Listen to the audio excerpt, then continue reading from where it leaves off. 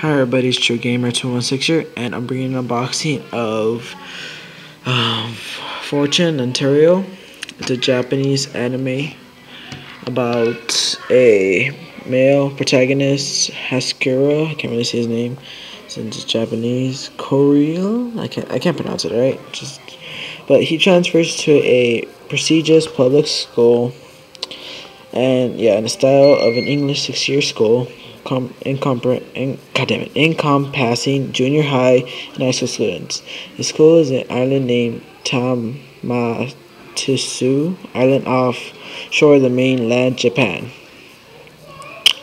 And the only way to get there is by boat. Soon after transferring, he discovers that one of the students in the class next door to his, Sendo Erika, Erika, whatever you want to say it, is in fact a type of vampire.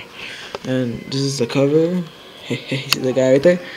I love it when they do that. Uh, anyways, it's um, episodes 1 to 12, and um, it's approximately 300 minutes.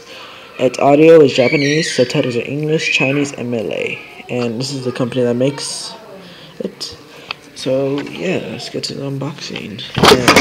I know I kind of suck on my unboxing, so I kind of just ripped it a little bit.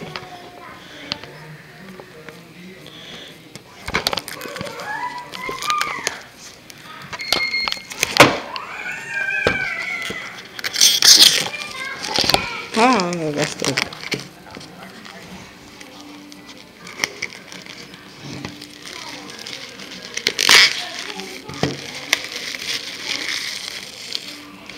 Alright.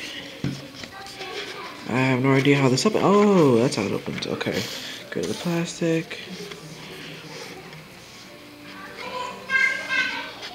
So this is how it is. Don't judge me, I like anime. Goddamn Netflix got me into this and a lot of other enemies. What?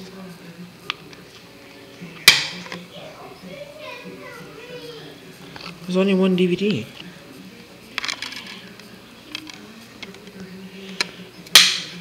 It's cracked.